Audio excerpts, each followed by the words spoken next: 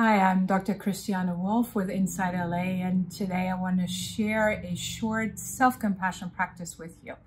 So self-compassion has three different phases. The first one is mindfulness. Can we acknowledge that what is happening is happening and it's painful? Second is what we call shared humanity. Can we remember that no matter what we're feeling, other people are feeling that too or have felt that before?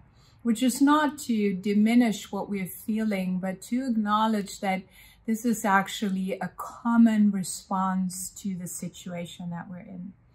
And then the third one is self-kindness. So let's practice this. So I'm inviting you to close your eyes if that feels okay. Can have your eyes open if you want, you can put a hand on your chest. So sometimes that's actually a really nice gesture that your body will understand, a gesture of physical support. So just feeling what that feels like. And then recalling this difficult moment, or maybe you're right in it, just saying something to yourself like, this is a challenging moment. Or this is a hard moment right now.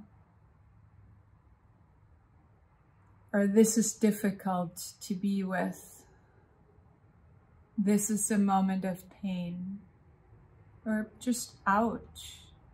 So whatever feels right to you in this moment. Then the second step is the shared humanity.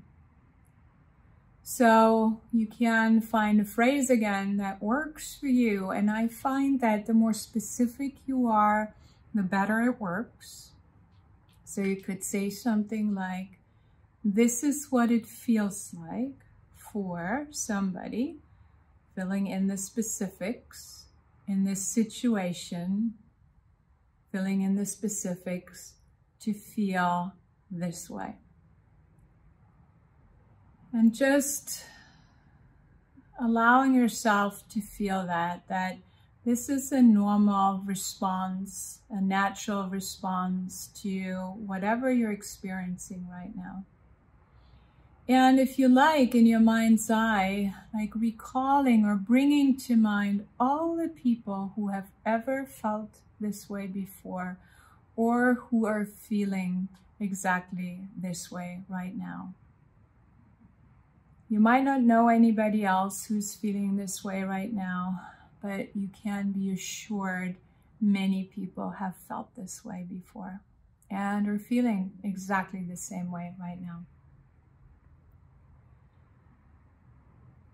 And just staying with the breath, breathing that in, maybe picturing yourself in a circle with these people.